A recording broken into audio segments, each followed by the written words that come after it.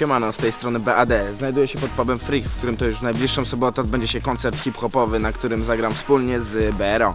Dokładnie tak, a cała impreza odbędzie się 19 stycznia o godzinie 20. Będziemy grali materiał z high schoolu, także wpadajcie, jeżeli macie swoje płyty, chętnie je podpiszę, chętnie wbiję piątkę. Widzimy się na miejscu. Pozdro.